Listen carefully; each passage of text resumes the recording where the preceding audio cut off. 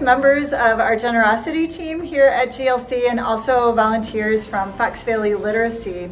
We are so excited to be able to share a gift with them. We realized that we had resources that we could share as a way to express our gratitude and continue their mission, which also helps support our mission to live generous lives in Christ. In 2021, we gave around $75,000 away. And then we said, how can we keep this going? And so we designate 2% of all the income that we receive as a congregation to give right here in the Fox Valley in our community. And so we're extra excited to be giving this uh, gift today because it helps us in all kinds of ways to be a force for healing in our community, to help people build relationships that bridge all kinds of divisions that we have, uh, but that also give us a place to serve in our community. So I'm going to hand it over to Winnie, who is the chair of our team, to present a check for uh, just over $10,000 to Fox Valley Literacy. We thank you for this contribution. It's a, it's a great gift and will go a long way. You know, we've, we've often been told that our, our tutors are more than teachers, they're more like community ambassadors. You know, helping people navigate the community and just almost having the heart for hospitality.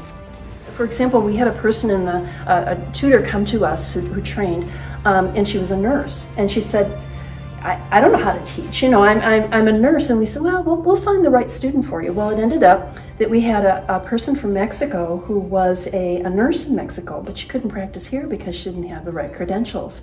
So the nurse helped the, the Mexican woman get a CNA, and she's now working in a local nursing home. We see God's hand in these matches all the time. The difference, the woman's life is now that she has her CNA here, I mean, the, the change there in what she's able to accomplish in our community is not only amazing for her, but it is truly a benefit to our community. I have the privilege of, of enrolling students when they come to us, and one of the key motivators I hear all the time is parents wanting to know what their kids are saying because oftentimes the, the children of our adult uh, students, they're learning English at a really fast rate. And the parents' willingness to be um, vulnerable and humble enough to say, hey, I need some help with this so I can be able to communicate with my kids and children and the teachers at school. We have a, a four session tutor training um, and you, you, don't have to have a background in a, in a second language or a, a, background in teaching or anything like that.